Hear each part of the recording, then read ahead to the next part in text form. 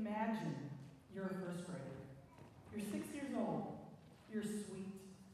You're wide-eyed and innocent. You're ready to please and starting to exert your independence. Since you're growing up, you might be even a little defiant, just wanting a little control over things that affect you directly. Now imagine you're taking piano lessons. You started this endeavor at five years old while in kindergarten. And now, a year later, you're pretty confident when you play hot cross buns and a single-handed Claire Loon. Suddenly, your piano teacher wants you to try something new. She wants you to use both hands at the same time. Whoa. Now, you have a mom who clearly wants you to make music a part of your life. After all, your grandpa wanted her to be a country music star, and she didn't do that. So now, she's going to do whatever it takes to make sure you boys make the most of the God-given musical prowess that was bestowed upon you. So when this day comes, this day, when you have to use both hands to play piano, use both hands together, this is a new challenge that is tough. After pretending you were the little engine that could, for several days, you're ready to throw in the towel. You're fed up and ready to quit. This two-handed thing, it's just too hard. So you start to cry and exert that six-year-old independence. And you say, I can't.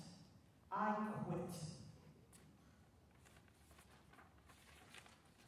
But your mom, she's not having any of that nonsense. She has a plan to see you and your brother, and maybe even your cousins, form a band someday.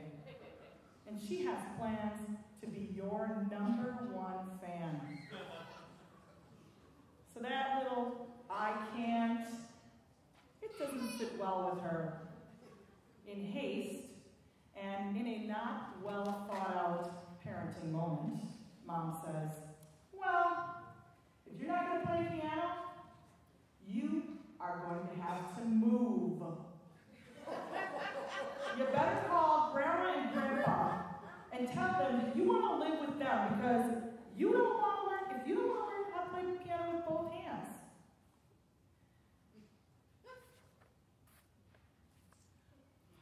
After I said that, I was a little shocked at myself. But I had to keep up this can-do attitude, this teachable moment, this opportunity for a lesson in grit and perseverance in the face of difficulty. So, as the Leo dictator that I am, I went full bore and repeated myself. Yep. If you are not going to learn to play piano with both hands, you better get on that phone right now and call Grandma and Grandpa and tell them you're going to have to live there. Suddenly, Ethan's lips began to quiver. The tears welled up in those big, beautiful eyes, and all we could hear for the next 60 minutes were wails of pain and sadness.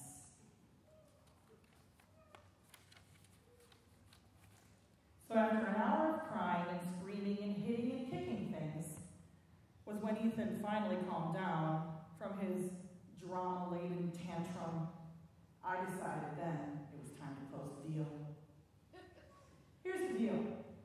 If you don't have to move to Grandma and Grandpa's if you promise to play piano for two more years.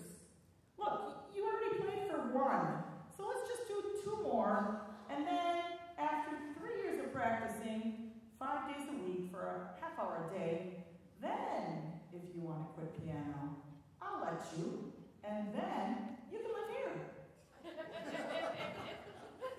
so that's how this all started. Poor Ethan. He had to deal with me and my inconceivable demands that he play piano with two hands together at the same time. Like it or not. I thank you all for being here today to see how far Ethan has come playing with two hands together after that tremendous lesson in grit and perseverance. I'm more proud of him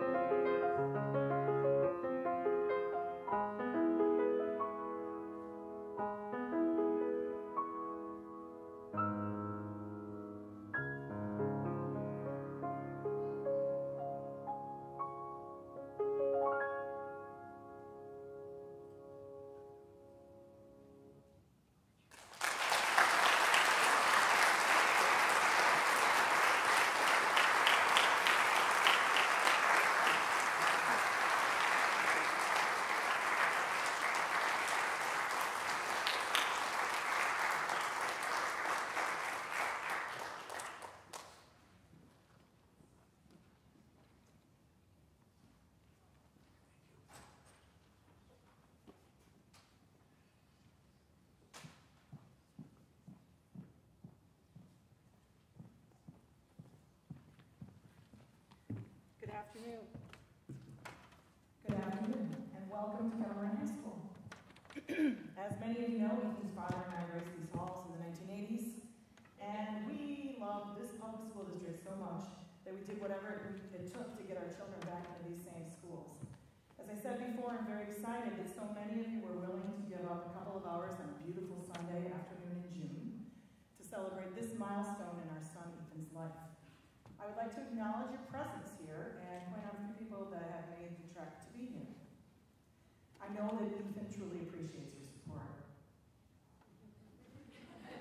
At this time, we'll take a few minutes to make some connections because today in education, we're all about developing relationships and making connections. So, uh, do we have any of the administrators of Kettle Moraine School District or high school here? I didn't see them come in, so I wasn't sure. Um, are there any of Ethan's music teachers here who were instrumental in developing Ethan's talent? Their names are on the back of the program. If you would please stand, uh, private piano teachers, Jennifer Schoper, Tess Munich, and Joan Ball.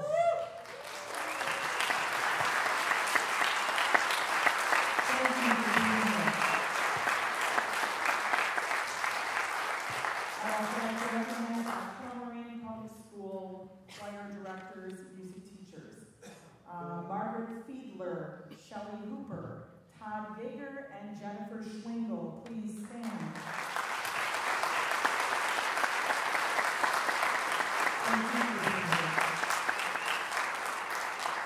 And of course, I'm not sure if any of them are here, but we had some rockin' guitar teachers, Pat Byrne, Peter Mack, and Ira DeBoer.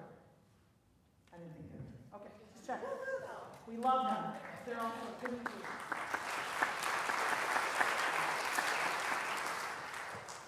Um, at this point, I know I've seen a few of you I would like to recognize any of Ethan's teachers who are giving up time to be with their family so that they could be here today to support Ethan. Please stand, some of Ethan's teachers.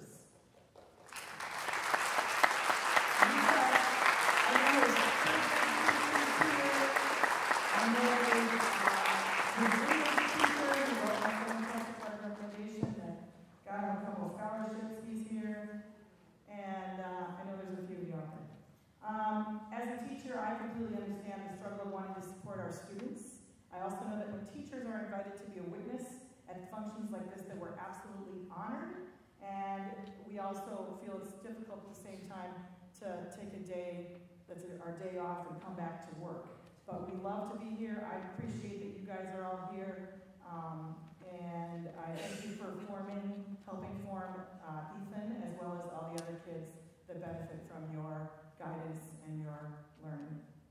Um, I also want to recognize our families. So if you are part of the Helfenstein, D-Boy, Neve, uh, family, please stand.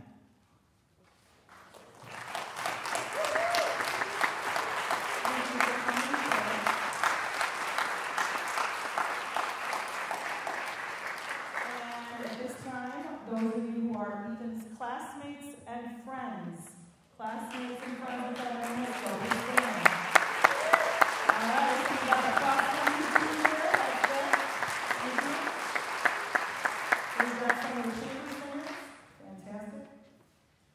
If you're a parent or uh, of Ethan's friends, if you're one of my students that you came to support him, if you're a family friend or a neighbor, please stand.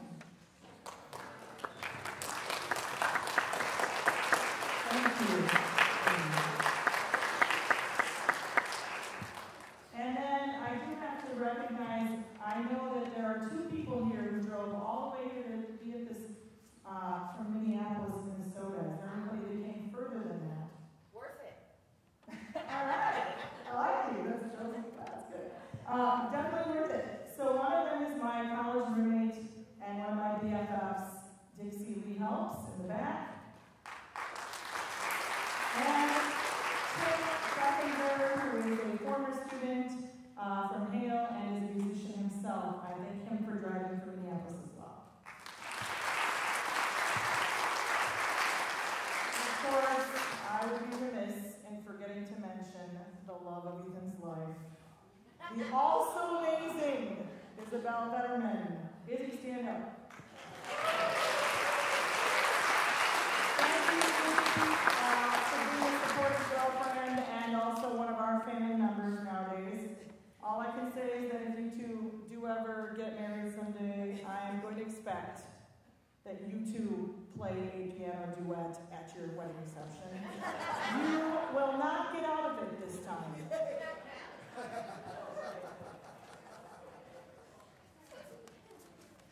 In case you didn't notice, after the program, please join us for some celebratory cake and coffee, lemonade or water.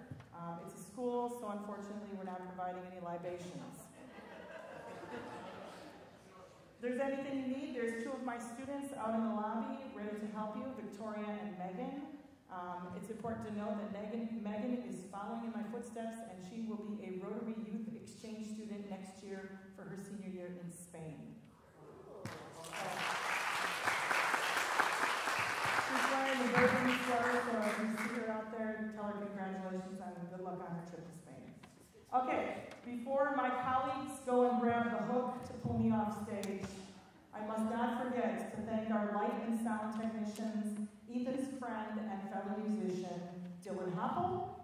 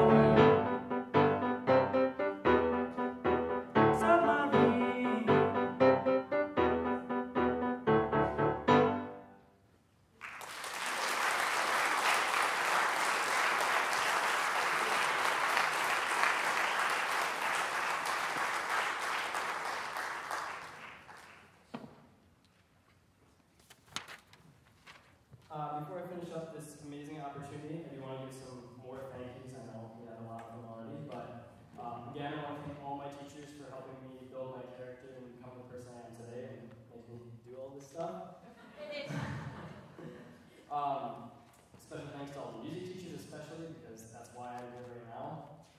Um, thank you to my parents for always supporting my love for music and supporting everything, paying for my lessons and enjoying it, especially. That really means a lot that they enjoy it. Um, special thank you to my mom for organizing most of this because if I organized it by myself, you guys would probably be sitting on foldable chairs and drinking water in solo cups.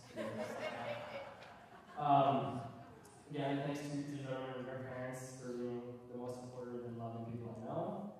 And uh, thank you again to everyone else who is here today, because it really means a lot that you guys all came out to support me. Uh, please sit back and enjoy my last piece, Star Wars.